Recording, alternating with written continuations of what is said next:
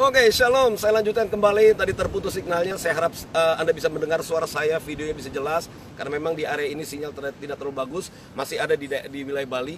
Uh, saya mau sampaikan apa yang tadi saya sudah mulai. Yang terambil dari Yohanes 14 ayat 17. Masih kita berbicara tentang Syafuot. Yaitu roh kebenaran. Dunia tidak dapat menerima dia. Sebab dunia tidak dapat melihat dia. Dan tidak mengenal dia. Tetapi kamu mengenal dia sebab ia menyertai kamu dan akan diam di dalam kamu. Praise the Lord. Satu ayat lagi. Yohanes 16 ayat 13. Tetapi apabila ia datang, yaitu roh kebenaran, ia akan memimpin kamu ke dalam seluruh kebenaran, garis bawahi seluruh kebenaran. Sebab ia tidak akan berkata-kata dari dirinya sendiri, tetapi segala sesuatu yang didengarnya itulah yang akan dikatakannya dan ia akan memberikan memberikan kepadamu hal-hal yang akan datang. Perhatikan baik. Ketika kita ditebus, kita ditebus dari belenggu dosa, kita ditebus dari realita dosa. Yesus telah menebus kita, Yesus telah memeteraikan kita. Orang-orang yang ditebus adalah orang-orang yang layak untuk dipindahkan dari kegelapan kepada terang yang ajaib, dari area gelap di mana iblis menguasai, dibawa kita keluar supaya iblis tidak berkuasa lagi atas kita. Yesus telah melakukan itu di kayu salib. Sekarang peranan Roh Kudus, kita harus mulai mengenal Dia. Kalau kita sampai tidak mengenal Dia, maka kita sama seperti orang-orang di area kegelapan. Karena Alkitab tadi berkata bahwa dunia tidak mengenal dia. Tapi mari lewat live streaming pada pagi hari ini saya himbau saya ajak setiap orang mari kita mulai sekarang belajar mengenal ke Roh Kudus karena Roh Kudus lah yang akan membuat kita benar-benar mengalami perpindahan dari area kegelapan dikuasai oleh kegelapan paradigma kegelapan paradigma dosa dari realita dosa pindah kepada area baru yaitu terang realita kasih karunia. Dan di sini kita akan mulai belajar ketika kita menyambut Roh Kudus. Roh Kudus akan mengajar kita bagaimana kita harus hidup. Karena seperti saya sudah katakan di area di area realita kasih karunia tentu ada tatanan tentu ada pelatihan. Makanya ketika kita dibawa berpindah jangan khawatir. Kalau mungkin Anda sedang dalam perjalanan perpindahan Anda menjumpai suasana seperti padang gurun don't worry. Karena suasana padang gurun orang-orang dengar baik. Ini dia. Orang-orang yang sudah ditebus oleh Tuhan dan orang-orang yang berkata, "Aku mau berpindah." Jangan khawatir, dalam perjalanan perpindahan mungkin Anda masih merasa seperti perjalanan pada gurun, tapi jangan khawatir. Di situ Roh Kudus akan mulai mengajar kita cara berpikir kita berubah. Perhatikan baik, ketika kita berpindah, maka apa pun yang Tuhan sediakan, yang yang Tuhan akan warisi kepada kita, kita akan terima semuanya di dalam realita kasih karunia. Apa pun yang pernah dirusak oleh dosa, mungkin kesehatanmu, mungkin rumah tanggamu, mungkin keluargamu, mungkin keuanganmu, mungkin bisnismu, mungkin apa pun yang pernah hancur karena dosa. Dengar pernyataan saya, dengar nubuatan ini. Whatever that sin has caused in the past, apa pun yang dosa pernah lakukan dalam hidupmu, yang dia hancurkan atas hidupmu, tapi di area yang baru, di area realita kasih karunia, ketika kita belajar mendengar Roh Kudus, semua yang dirusak oleh iblis akan dipulihkan kembali. Puji Tuhan, inilah pengharapan kita.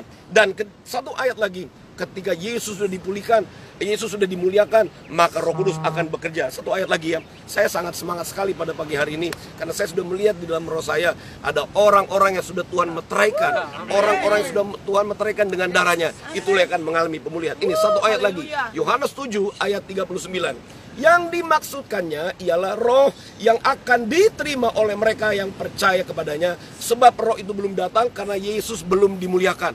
Nah, ini berbicara waktu itu Yesus belum dimuliakan, belum naik di kayu salib. Sekarang sudah 2000 tahun lamanya Yesus telah dimuliakan. Dan kita ada di hari-hari terakhir kita disebut, saya sebut the final hour generation. Berarti generasi jam terakhir adalah generasi yang harus mewarisi seluruh kebenaran. Yes. Karena Alkitab tadi berkata, Roh Kudus datang, dia akan menyingkapkan seluruh kebenaran.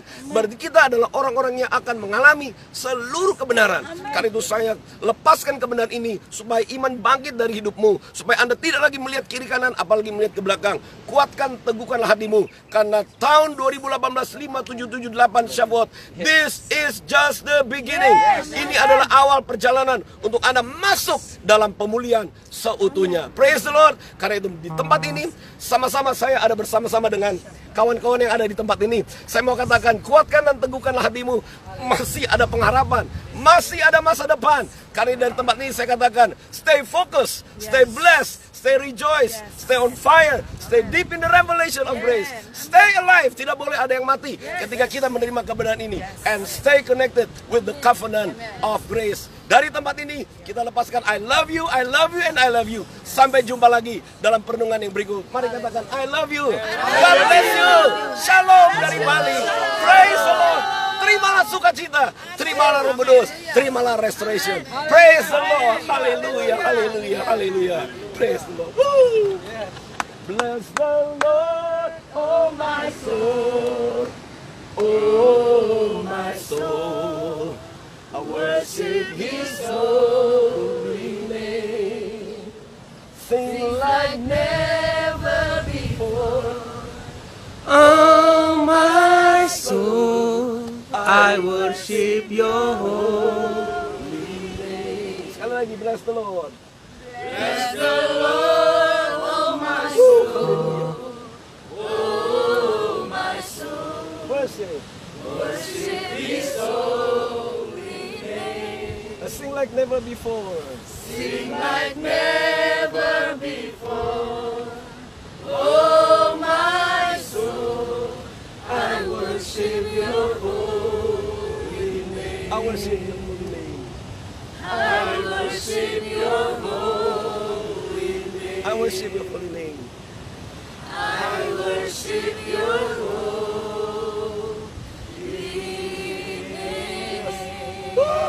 Hallelujah.